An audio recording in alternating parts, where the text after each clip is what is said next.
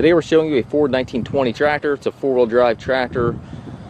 Has 33 horsepower. Tractor was traded in locally here. Uh, it is in uh, average cosmetic condition. Uh, mechanically, the tractor runs and works as it's supposed to. It has no known issues.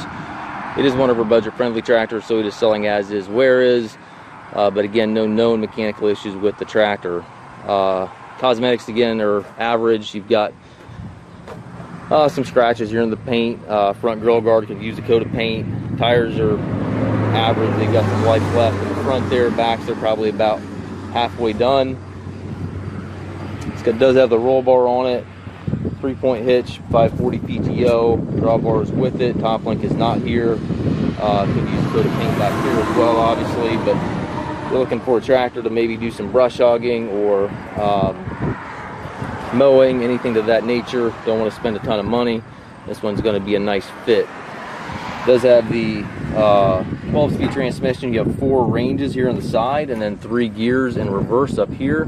So you have a total of 12 different forward speeds and four different reverse speeds. Uh, tractor just over 1,800 hours on it.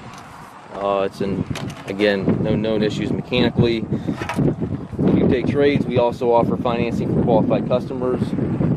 Arrange delivery here within the U.S. If you have questions regarding this tractor, please contact us at maskedtractor.com.